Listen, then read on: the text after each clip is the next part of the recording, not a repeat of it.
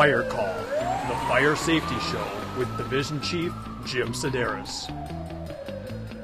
Hi, my name is Division Chief Jim Sideras, and you're watching Fire Call, and we're going to take you with the troops. Look at some of the training we're doing, look at some of the things going on Sioux Falls Fire Rescue. So kick back, turn off all that electronic crap, you don't need it. You just sit down and watch Fire Call for the next half hour. Now, I got some shout outs. Some of you have been writing saying, hey, give me a shout out to my department. So we'll nail out some of those real quick here. This first shout out is from James, and James wants a shout out to the North Patchogue Fire Department in New York. And the next one is from Luke. Luke lives in Ohio. He has a shout out to the Highland Hills Fire Department in Northeast Ohio. And then we have last shout out goes to Alex. Alex wants a shout out to the Upper Greenwood Lake Volunteer Fire Company of West Milford, New Jersey. So I'm glad you guys are watching. Glad you're sitting back and spent some time and asking us some questions, giving us some shout out. This show is going to be really cool. What we're going to look at is we're going to look at firefighting. Everyone likes to look at some tip time, getting some firefighting training done. We're also going to take a look at foam. How does that whole foam issue work? And let's get rid of some of those myths about foam. And then we're going to look at how one person can change one child's life.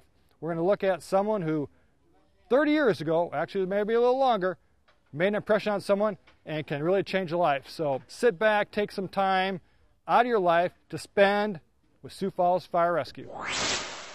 this question comes from Noah. Noah lives in Batavia, Illinois, and he wants to know when firefighters come to a fire, do they have specific jobs to do? And I got Captain Travis Tom. And Trav, your last month you were doing trench rescue. This month you're doing house fires. What's the deal?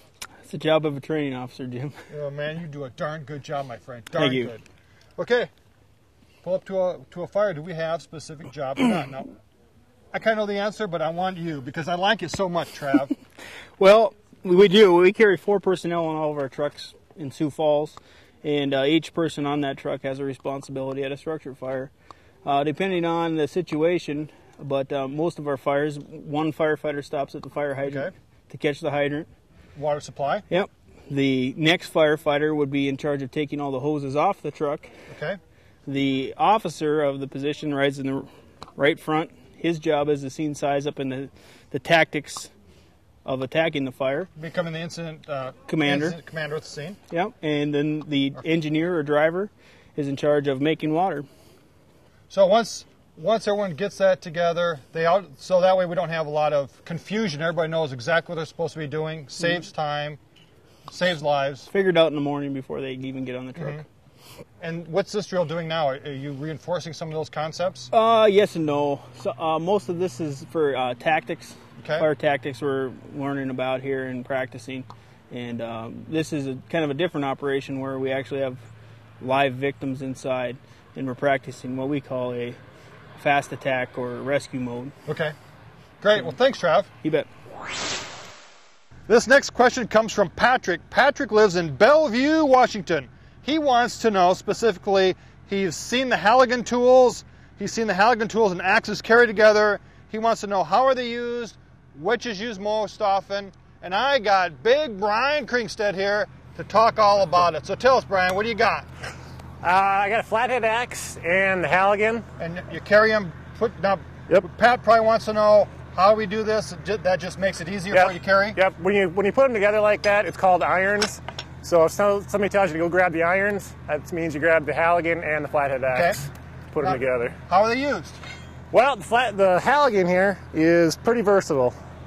Um, you, you see it's got a lot of ends on it, and it's mostly a, a prying tool. Uh, we use it for that. So we're talking about jamming, opening a door. Yep, jamming in the door. Um, you can put, you see, uh, pointing in here. You can slam that down on a car hood, jack it up, crumple that hood back, spray some water on a car fire. Um, if we want to do ventilation on a roof, we can slam this point in in the roof, and we can stand on this end. Gives a lot more grip on a on a steep roof. Okay, and then So- and then you have your flathead axle, so you can use Yep. that just to bang it in a little harder. Absolutely, you can uh, put the side in the door, and then you can use the flathead axe on here, get more advantage, even more leverage. Now, is it true? The guys told me that you actually bent one of these. is that true? That is not true. okay. That is a Just checking. Thanks a lot, Brian. I have a question from Jonathan, and Jonathan lives in Holly, New York. Jonathan wants to know about how long does it take to put a fire out inside of a house, basic house fire. I have Captain Ron Harris with me. Captain Ron's out here training the troops. What do you, what do you think, Bud? How long does it take to put out a house fire? Well, if you pull up on scene, by the time you stretch the lines out and actually get everything up to the door, watering your hose, entering, going through the building, probably 20 minutes would be, I'd say, the average, let's say, the average house fire. And then now we're going to be at the scene though much longer. Yes, a lot of times people see us there for two hours, three hours later, but then that, then we have to do some overhaul, which means you know we got to go in and we got to actually get into the seat of the fire, find out where it is, where it went, make sure it doesn't restart again. Mm-hmm. So it takes a lot of time then, and also to tear everything down, get back in, you know, back at the So when you talk about tearing things down, why do we tear things down? Why do we pull down some walls or some ceilings? Well, the biggest thing is extension. You know, uh, fire going to go anywhere. You know, inside, especially if you got different types of construction. The one we we look, we look at is that balloon construction where you don't have any fire stops inside. Where Older homes. The fire, yep, the fire goes up the wall and then it just goes to the next floor and then on up and on up in the attic. So we have to go through each area, tear a little bit out, just so we can see where the fire actually stopped. Mm-hmm. And from that point, then we can finish our overhaul and call it uh, a, a stop, a fire stop. That's that's going to be a whole nother show just on building Yep. construction. yep. Thanks, Ron. Okay. This question comes from Aaron, and Aaron lives in Chicago. Aaron wants to know, tell us about yourself and why. You know, what are the, some of the things that made you want to be a firefighter? And of all people, today we were shooting, came to have sandwiches at Whiffers. My third grade teacher is here, and I don't even know your first name, just Mrs. Randall. Mrs. Randall That- Whiffer. that's oh really? Whiffer. My nickname, Oh, now I know. Cecilia. Really, I never knew. But- honey, when you were in grade school, it was always Mrs. I know, And Miss. and it still is. Yes. Well, here's the story. In third grade, you started teaching and you took us on a tour of the fire station at the air base. And that's when I was just enthralled with fire trucks. And ever since then, and look at me now, Uh, there And- you are. and you have one of the nicest sandwich shops in Sioux Falls. Well, thank you.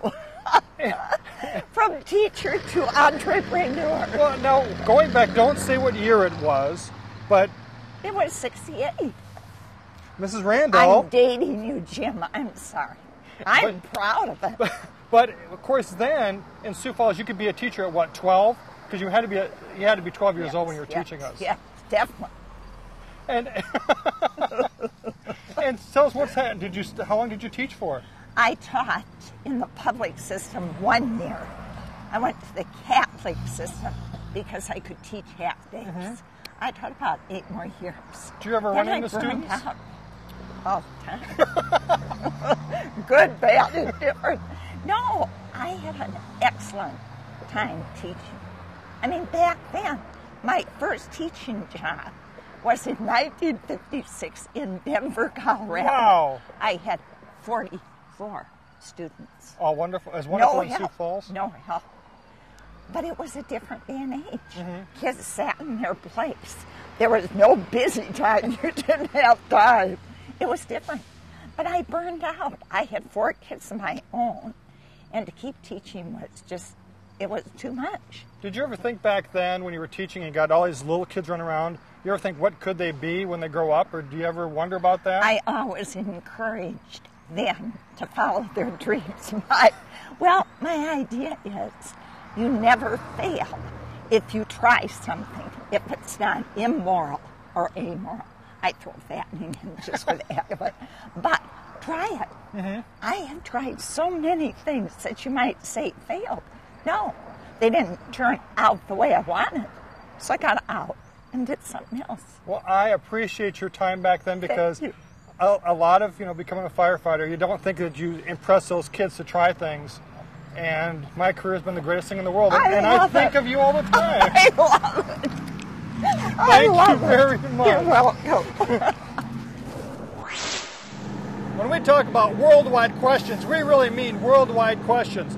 This one comes from Maribert in the Philippines, and he wants to know can you explain some problems that may be experienced when operating a fire pump or a fire truck? Well, there's no one more qualified to answer this question than my old good friend, Denny Matthews, driver extraordinaire. Uh, Denny, we're out here, gorgeous day in Sioux Falls, pumping.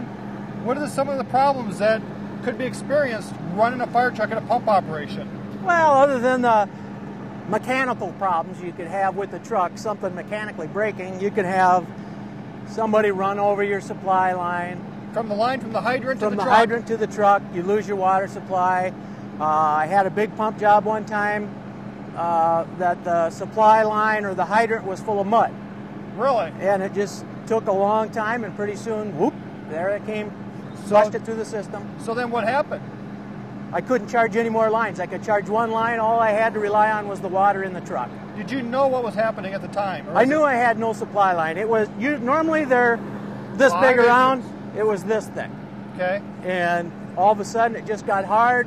The firefighter said it looked like there was chocolate milk coming out of the tip. Well, come to find out, the cap was loose on the hydrant. They think maybe some kids filled it with dirt, something like that. It just took a long time for it to get through, which is hard on the truck. What advice would you give to Maribert or a new driver coming on board to say, I'm, I haven't had my first big pump job yet. What are some things I should think about? What are some things that you, what pieces of advice would you give? The easiest thing you can do is know your equipment inside and out. Know it with your eyes shut and realize that if someone runs over my supply line, this is what I got to do. If a line gets burst, gets away from a firefighter, this is what I got to do. I got to shut the line off. You just have to run these scenarios through your head and it'll come second nature. And this is doing it, you have seconds to do this. seconds. Now, we're not done with you yet, Denny. We've got another question, so we're going to find a truck that's free for the next question. Okay. This next question, another truck driving question, comes from Austin. Austin lives in Boca Raton, Florida, and he wants to know how do you get the wet stuff on the red stuff? Basically, how do you put a truck in a pump gear, and how's that process work? So, Denny, how do you get this massive, huge truck at the fire, getting it in and putting it in a pump gear so we can make water? Well, when you get to the fire, there's two controls in the cab. Okay. You just flip a lever, push a button. Oh. The truck is now has removed itself from gears that drive the wheels to gears so, that drive the so the it's almost like we we took it out of driving, driving. and now we're gonna. Now we're in pumping. So you can't drive and pump at the same time. Not with I- this truck. Some okay. trucks you can, but most of them no. Okay, so now we got it, got into pump gear. Then what do you do? Well, the firefighters will usually pull a line off right Just away. like we got lines off here. Right, we got lines off all over. The truck is in pump gear. I'm going to want to get my water from my tank to my pump. Okay. So this valve is open. The water's on its way there. Prime the pump. You have to evacuate the air out of there so the water comes in. Charge your line, whichever line it may be. While that, while I've done that, the firefighters have water to put the fire out. Okay. 500 gallons. That's it. A lot of well, a lot of water there. Right, but not usually enough. The other firefighter is hooked onto the hydrant over there. So that is my job here. next is to get a supply line. Okay. So I'll hook this five inch up into this big valve. So right once we got this hooked up, we have an unlimited supply of water for the most part. Mm, unless somebody drives over. it. Yep. I'll open this little air bleeder right here because I don't want to inject air into the pump. So all the air is gonna come out of this hose all the way back to the It's going to come right out to here. Turn this on, let the air out, boom, done. and you're good to go. Good to go. You make it sound simple, but I've seen a lot of guys sweat over doing this, Denny. Well, you just know your stuff. Thanks. You're the man. This next question is from Mike. Mike lives in Pineville, Arkansas. He wants to know more about the foam systems we use. How do we use them? Why do we use them? And I got the guy to answer the questions, the guy doing the training, Kendall Ward. Kendall, Thanks, you're Tim. trainer, especially looking at these foam systems. What are the different, first, what are the different types of foam? Well, we have uh, Class A foam. We use it on uh, ordinary combustibles, uh, being House like fires house fires, hay bales, We've done that before on Yep. Fire Call. Watch one of the earlier episodes, you'll see it. Okay. And we've got Class B uh, foam, which is on your petroleum type fires, uh, gasoline, uh, diesel fuel, that type of deal. And then we have a Class B uh, alcohol resistant foam. Especially with today's day and age, we use uh, ethanol type Sure. fire uh, fuels, such as uh, E85 and, and even the 10% ethanol. We got alcohol in there. Now- this foam here can work to put those out. Do you still foam down the runways and the planes are coming in? No, they don't do that Oh, anymore. Kendall. That's They- thing of the past. Thing of the past. The foam they used back then was a protein foam, is uh, what they used to call a blood foam almost. Sure. And they had it on these uh, great big tankers, and they just go down the runway and shoot it out there. Well, they did away with that years ago. Days are gone. Yes. Now, when we look at using this foam for fires, you got a the heat coming off these petroleum fires is just incredible. How Oh, does that foam put that fire out? The foam that we use, uh, aqueous film forming foam, and what that does is uh, there's moist water in the bubble, and there's chemical properties that when when the foam's applied, it drains off and it forms a film across the surface, and then that blocks out the vapors on the from the fuel, and by blocking out the vapors, it then puts the fire out. So when we put that foam on there, we spray it across, shut the shut the nozzle down, and then that vapor that foam or film forms, spreads out across the surface, and fire goes out. How long does that film last across that petroleum product if, if you just had a really roaring fire? It varies on the size of the fire, the type of the fuel, how hot it is, and then how good your quality of foam is. If you're not using the right nozzle, you don't have enough aeration to it, or there's too much, uh, your percentages aren't right. There's a lot of variables to it. So this is it's a real there- science when you lay down foam. It's, it's not just throw some foam out there. It has to be the right pressure for Yep. water, the right aeration rates. It's Yes. quite a process. Oh yeah, uh, like today we use an inline eductor. It's an older style of foam production, but you have to have the right pressure to the ins- inlet side, and then you have to match your gallons per minute on your nozzle to your uh, eductor. Like ours today was a 95 gallon per minute eductor, and we have to match that on the nozzle. So, that the pressure e- is equal at the nozzle where it's coming out at Yeah. throughout the whole system. It's not. E- there's a friction loss you have to figure in there. Sure. So when you figure your friction loss, it puts out the appropriate gallons at the nozzle to match that eductor, thus giving you a good foam. And then if you put on an aerator like uh, We the had the like we had earlier, the the little Todd Lowe has shown us one of those before. The, Yes. Yep. You put one of those on that adds air to your stream, thus pr- promoting more air into the bubble, into the foam, making a better blanket for it. Now we're talking about foam, and that's going to lead us right into.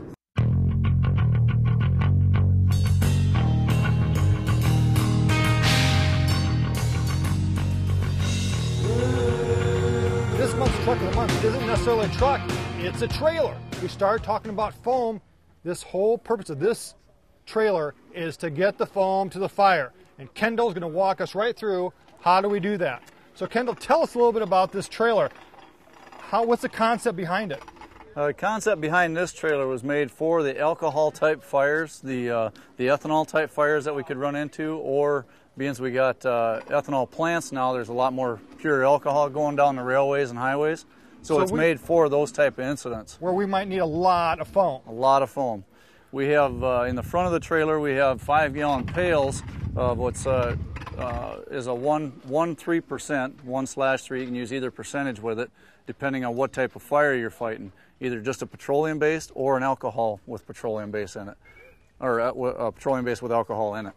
Um, in the back of the trailer, we have 55 gallon drums of the same same exact foam. It's just larger quantities. Uh, the, And the so if we're using our inline eductors, we probably use the five gallons, yes, and then on the on a hose line. Yes. And then when we use the guns, we're going to We- be using. Uh, 55 gallon drums.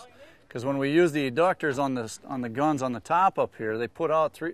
Each nozzle is rated for 350 gallons a minute, and when they put that out, we found that uh, by putting a the eductor tube in a five gallon pail, we can drain it in 12 seconds. Is how quick that goes. wow. So it, it goes awfully fast. So you can see why using a 55 gallon drum over a five gallon pail is more beneficial. We keep that blanket going. When we look at this trailer and we have the call go out, we have a large uh, amount of foam needed. We just take this truck and we get it to the fire by putting behind one of our utility vehicles. behind a utility vehicle, or uh, we have a truck out here that we bring. Uh, you're probably looking at it now. That's our uh, training center uh, utility truck. We also have a few trucks on the out at the stations that we can pull it with. Perfect. Kendall, thanks a lot for showing us the truck of the month.